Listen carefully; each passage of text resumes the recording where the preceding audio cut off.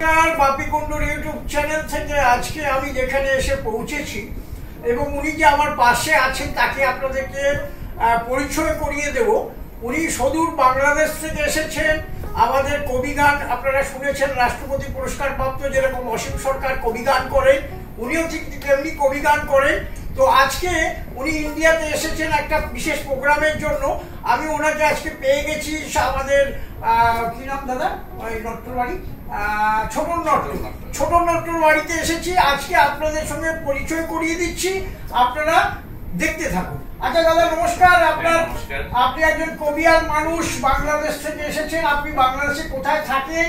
এবং আপনি কত বছর ধরে এই কবি এই গানের সঙ্গে যুক্ত? হ্যাঁ বলুন। প্রথমেই সকল যারা দর্শক রয়েছেন তাদেরকে সশ্রদ্ধ প্রণাম দিয়ে অঞ্জলি জ্ঞাপন করছি। যেটা দাদা ইতিমধ্যেই দাদাকেও প্রণাম জানাই। হ্যাঁ, নমস্কার, আজকে যার কথা বললেন যার বাড়িতে আমি এসেছি শ্রদ্ধেয় একজন গুণী শিল্পী ছোট নাট্য তাকেও অভিবাদন জানাই।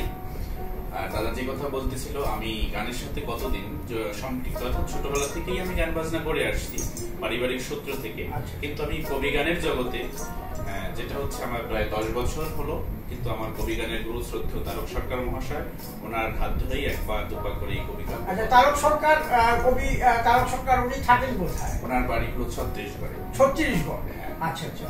তাহলে আপনার দশ বছর হয়ে গেছে এই কবি গানের সঙ্গে যুক্ত হয়েছেন তাই তো? হ্যাঁ। খুব ভালো লাগছে, দর্শক বন্ধুদের বলব, আপনারা ওনার কাছ থেকে গান শুনবেন। আমার তো গান শুনেছি, একটু উনি রিহার্সাল করছিলেন, আমার খুব ভালো লাগছিল। আপনাদেরকেও শোনাবো, আপনাকে একটু ছোট্ট করে বলব যে আপনি বাংলাদেশ থেকে এই যে যে জায়গায় আপনি এসে পৌঁছেছেন, ইন্ডিয়াতে যে গানের প্রোগ্রামের জন্য আপনি এসছেন, তো আপনাকে বলব যে আপনার গান করতে কেমন লাগে? গান গান হচ্ছে একটা কথা হচ্ছে আমার গানটা কেমন লাগে বললেন যেহেতু হ্যাঁ। গান হচ্ছে আমার সব দিকে একদিকে আর গান একদিকে। গান হচ্ছে আমার একটা ভবা পাগলা বলেছিলেন যে গানই জীবনের শ্রেষ্ঠ সাধনা। একদম।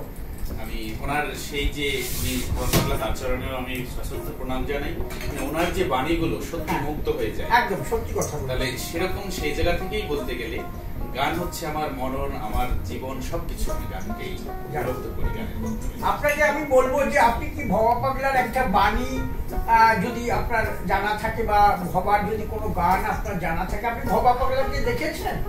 তাকে দেখিনি কিন্তু তার যে লেখনীগুলো অসাধারণ লেখনীগুলো উনি কিন্তু এইটটি সিক্স থাউজেন্ড গান লিখেছেন। হ্যাঁ তার অজস্র গান। আমরাও কবি গানের আসরে করে থাকি তারপরে সমগ্র বাংলাদেশ ভারতেই ওনার একটা সেই গানের যে ফুলঝড়ি যেটা হ্যাঁ। বলব যেই শুনে যে জায়গায় ওনাকে নিয়ে গবেষণা হচ্ছে পিএইচডিও করা হয়েছে। আর ওনার বিশেষ কথা হচ্ছে আমি ধন্য কারণ হচ্ছে ওনার জন্ম বাংলাদেশে। আর যেহেতু আমার বাংলাদেশে আমি সে পূর্ণ ভূমিতে যিনি এসেছেন সেই ভূমিতে আমি এসেছি এটাও আমার জন্য পরম পাওয়া। না না ঠিক আছে। আপনাকে বলব খালি গলায় আপনি দু লাইন বা এক লাইন ভবার গান একটা করুন। পরমে পরম জানিয়া পরমে পরম জানিয়া। খুব সুন্দর খুব সুন্দর।